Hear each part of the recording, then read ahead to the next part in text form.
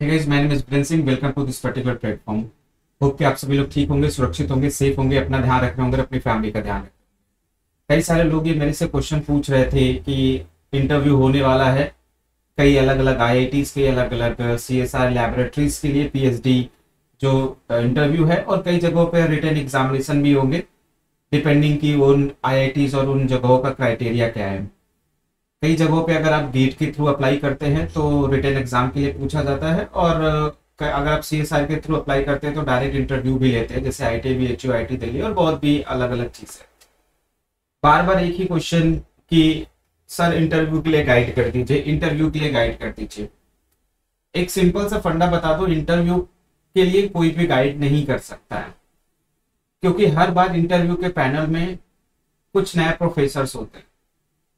और वो प्रोफेसर कब क्या क्वेश्चन पूछ देंगे, इसका कोई पैटर्न नहीं होता। किसी भी इंटरव्यूअर को ये याद नहीं रहता कि एक साल पहले उसने क्या पूछा था। ये सिर्फ़ और सिर्फ़ आप लोग एक कहते हैं, अलग इल्यूजन में जा रहे हैं, अलग जोन में जा रहे हैं, जिससे आपका कोई बेनिफिट होने वाला नहीं है।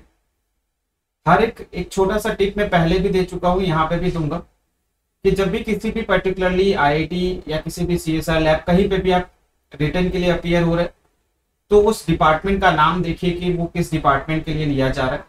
अगर बायो प्रोसेस इंजीनियरिंग है बायोकेमिकल इंजीनियरिंग है मॉलिकुलर बायोलॉजी है बायोलॉजिकल साइंसेज है तो डिपार्टमेंट में डिपार्टमेंट की साइट पे विज़िट करेंगे। डिपार्टमेंट का कोर्स स्ट्रक्चर देख सकते हैं कि पीएचडी में ऑलमोस्ट पढ़ाया गया जा रहा है। पीएचडी में किस तरीके के टॉपिक चल रहे हैं।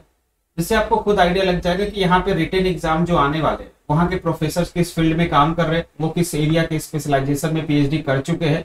जिससे आपको ये आइडिया लगेगा कि उस डिपार्टमेंट में कोर क्या चलता है। और जो रिटर्न एग्ज़ाम होगा, उन्हीं के बेसिस पे जो है आपको लिया जाएगा। और कुछ बेसिक चीज़ें, जो कि मैं पहले भी बता चुका हूँ, जैसे biochemistry enzyme kinetics protein chemistry techniques molecular biology cell biology ये कुछ ऐसे टॉपिक्स होते हैं जो हर एक रिटर्न एग्ज़ाम से लेके इंटरव्यू तक पूछे जाएँगे, चाहे आप कहीं पर भी अपियर हो रहे हैं। इसके अलावा कुछ स्पेसिफिक चीज़ें वो डिपार्टमेंट के ऊपर डिपेंड करती है कि वो डिपार्टमेंट जो है वो किस आ, कह सकते प्रोफेसर मतलब किस फ्रेम पे है वो बायोलॉजिकल साइंस पे कैंसर स्टडीज़ पे कहाँ पे किस तरीके का काम करता है। अब कोई कैंसर बायोलॉजी का जो डिपार्टमेंट होगा वो ये थोड़ी आपसे पूछेगा कि रिएक्टर में जो है कौन सा इम्पेलर किस तरीके का काम करता है। ऑब्वियसली बात है कि ये बायोकेमिकल इंजीनियरिंग या फॉर्मेंटेशन या जगहों पे जब आप काम करने जाएँगे तो ऐसे क्वेश्चन आएँगे।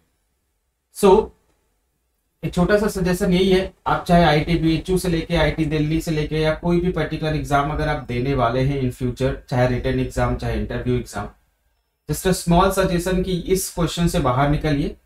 हर कोई भी इंटरव्यू का किसी भी इंटरव्यू का किसी भी कॉलेज के इंटरव्यू का कोई स्पेसिफिक पैटर्न नहीं होता।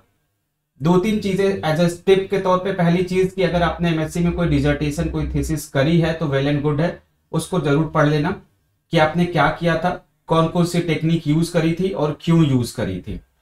उसके बाद जिस भी डिपार्टमेंट में जा रहे हैं, उस डिपार्टमेंट के बारे में नेट से स्टडी कर लेना कि क्या है, कौन कौन प्रोफेसर क्या करता है और उसके उन एरिया के बारे में कुछ बेसिक चीज़ें पढ़ लेना कि उन एरिया में क्या होता है। इसके साथ तीसरी चीज़ें टेक्निक्स में कुछ बेसिक टेक्निक्स का प्रिंसिपल और एप्लीकेशन आपको पता होना चाहिए कि जैसे एस डी एस पेज का यूज़ क्यों करते हैं इलेक्ट्रोफोरेसिस क्या है क्रोमेटोग्राफी क्या है माइक्रोस्कोपी क्या है? आप कौन कौन सी टेक्निक किस लिए यूज़ करते हैं? वो टेक्निक का एप्लीकेशन और कुछ बेसिक प्रिंसिपल आपको पता होना चाहिए। क्योंकि ऑलमोस्ट हर जगह भी वो पूछा जाता है। इन सब के अलावा जो है, अपने बेसिक्स पे स्टिक क्लियर है आपका बेसिक्स क्या है?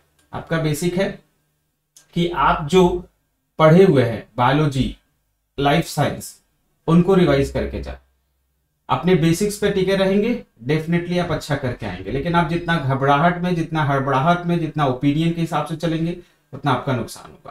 तो ये कुछ बेसिक टिप्स रिटर्न और इंटरव्यू के लिए डिफरेंट डिफरेंट आई एंड आपके सी एस के लिए। सो so, अगर ये वीडियो अच्छा लगा है तो आप कमेंट बॉक्स में ज़रूर बताइएगा। कई सारे लोग अब ये पूछेंगे कि हमारे एमएससी में थीसिस नहीं है तो क्या करें? कुछ दिक्कत नहीं है। जैसा है जो है जाओ। और जब तक इंटरव्यू क्लियर नहीं होता है, तब तक ये कॉन्फिडेंस कहाँ एडमिशन लें, कहाँ पे जाएँ, ये सब मत पूछो। पहले इंटरव्यू दो रिटर्न दो, और जब लिस्ट में नाम आ जाए पीएचडी सिलेक्शन के लिस्ट में, तब डिसाइड करना कि मुझे किस आईटी में जाना है, किसमें नहीं जाना है, किस सीएसआर में जाना है, किसमें नहीं जाना है। So just go and give your best all the very best for your your interviews and written examinations for different मिलते हैं नेक्स्ट वीडियो में. Till then bye take care and all the best